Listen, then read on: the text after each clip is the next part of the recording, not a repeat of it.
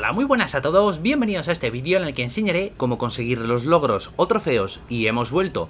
Soy yo, pero no soy yo, pero sigo siendo yo, y devolver al remitente en Journey to the Savage Planet.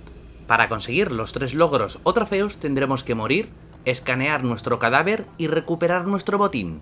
En la zona donde comienza el juego recoge Grob y lánzaselo un globo pájaro para que te ataque hasta que mueras. Después, vuelve donde has muerto, pulsa arriba para elegir el escáner y pulsa L1 o LB para escanear tu cadáver. Finalmente, acércate a tu botín y recógelo pulsando cuadrado o X.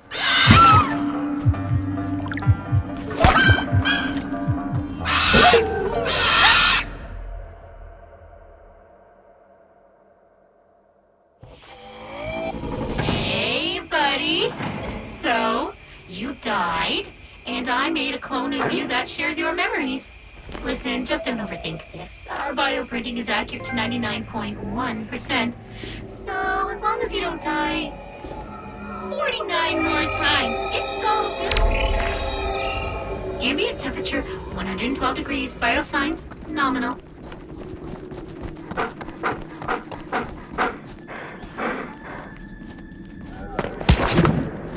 Property on Kindred Technologies.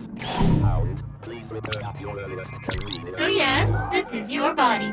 I suggest not staring too long. Might help to avoid a complete existential meltdown.